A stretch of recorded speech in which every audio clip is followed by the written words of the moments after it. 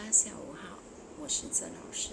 今天要跟你们分享的是故事小舞台。首先，我们介绍材料：有一把剪刀，blue d a p 冰棍棒，还有故事中的小人物。在家里有这些故事书本。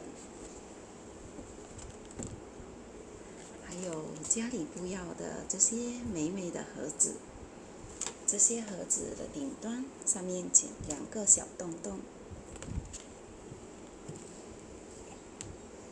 首先，我们来制作这个冰棍棒，有剪出一边长一边短，把短的放在顶端，然后下面再粘那个 blue tape。然后把故事中的小人物给粘上去，这样就做好了。这样已经做好了，现在就可以讲故事。有一天，外婆生病了，小红帽要去看生病的外婆。他在山里面走着走着走着。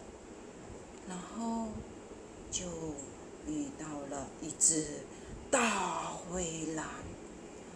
大灰狼跟小红帽说：“可爱的小红帽，你要去哪里啊？”